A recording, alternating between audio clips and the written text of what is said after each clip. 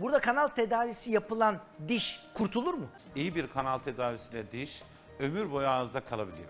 Süper. Bu mükemmel bir şey. Bir de e, burada bir soru daha akla gelebilir.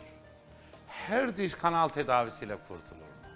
Şu anda geldiğimiz noktada diş hekimleri olarak teknolojinin de yardımıyla e, diş kadar kocam e, diş kadar lezyonlu dişleri dahi kanal tedavisiyle kurtarıyoruz. Bu ne demek biliyor musunuz doktor bey? kanal tedavisi yapmadığınız o dişi çektiğiniz zaman kemik içerisinde o lezyonu temizliyorsunuz. Kocaman bir boşluk oluşturuyorsunuz. Yalnız kanal tedavisiyle o dişi tedavi ettiğiniz zaman o lezyon tekrar kemiğe dönüşüyor. Kemikleştiriyorsunuz. Bu hem kemik kaybının önüne geçmiş oluyor hem diş kaybının önüne geçmiş oluyor.